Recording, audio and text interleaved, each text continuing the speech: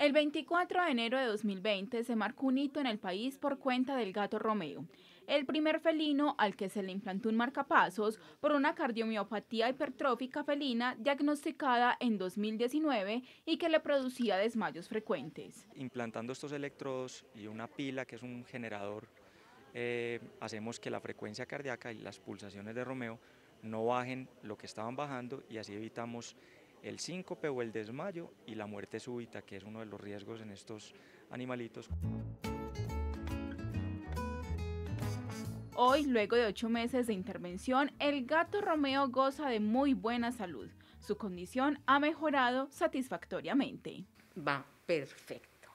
Romeo está perfecto. Las condiciones de salud de Romeo son perfectas en este momento.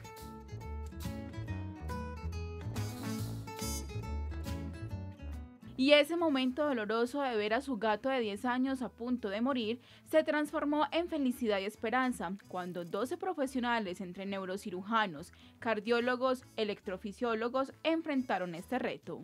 Ahora ya empiezan chequeos cada seis meses, pero lo estábamos llevando cada dos meses a chequeos de riñones, a chequeos de corazón, electrocardiograma, ecocardiograma. El paciente ha ganado peso y que aparte de eso su corazón se encuentra estable, lo que nos da un indicio de que el proceso ha sido exitoso en este paciente. Ahora Romeo juega con Chester sin cansarse y tiene una vida normal.